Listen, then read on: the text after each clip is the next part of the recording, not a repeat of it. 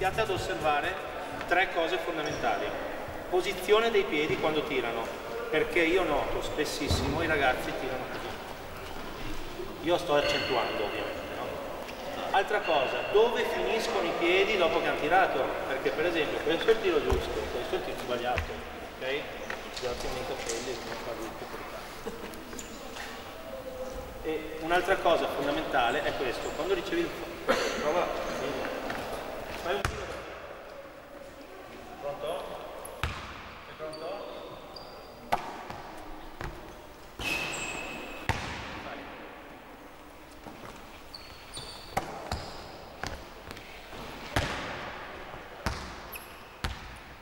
No, ecco, per esempio lui ha fatto una cosa che normalmente i ragazzi giovani fanno poco, cioè lui è veloce nel tiro, ma la velocità del tiro, chiedo a voi, secondo voi da cosa è determinata? Fammi vedere un tiro veloce e fammi vedere un tiro lento. Facciamo questo, questo gioco qua, che è importante. Adesso io te tu mi fai un tiro lento e poi mi fai un tiro veloce, ok? Adesso fai il tiro lento.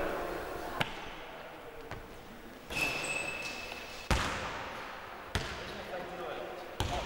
Step back. Pronto per il tiro veloce? Oh, ok. Esattamente questo, quello che tutti pensano, eh, questo è il veloce. Vi posso chiedere secondo voi perché? Per me, è, per me questi due tiri erano uguali, non era uno veloce e uno lento.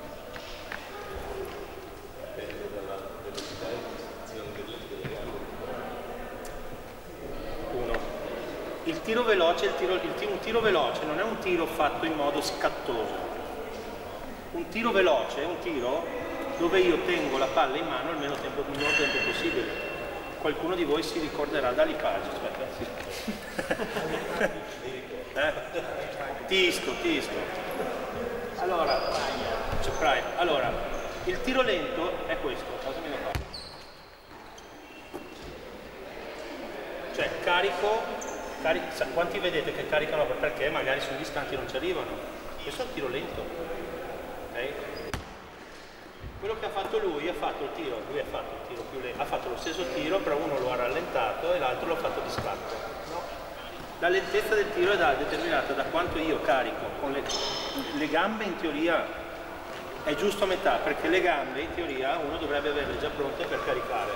È, è quando ricevo la palla, non la abbasso, cioè non faccio questo, ma faccio questo. Ok? Questa qui è l'essenza della pallacanestro assoluta, cioè è quello che ha reso gli slavi negli anni 70 e negli anni 80 i migliori al mondo nel tiro da fuori, migliori degli americani. Perché loro erano veloci, appunto. È verità. Quindi noi iniziamo a inizi- a insegnare ai ragazzi questa cosa, questa, co- questa cosa, io ho visto tanta gente che gioca in D, per esempio, e fa 8 su 10 da 3, si è libero, no? Riceve lo scarico. Un'altra cosa è Basile che ha sempre l'uomo attaccato alla maglietta così per 40 minuti eppure segna da 3 perché esce dal blocco perché quando esce dal blocco, intanto esce dal blocco e quando passa al blocco aumenta la velocità. Normalmente i giocatori fanno questo, arrivano veloci e poi fanno per mettere a posto i piedi e già lì perdono un secondo. L'altra cosa che fanno è quando ricevono la palla devono caricare. Ecco, io ho fatto, sono passato da un estremo all'altro, c'è la via di mezzo per migliorarsi. Quindi quello che io vorrei da voi, adesso quando tirate, è che tirate il più possibile in questo modo, cioè non abbassate il pallone e quindi la forza da dove si deve prendere? Grande.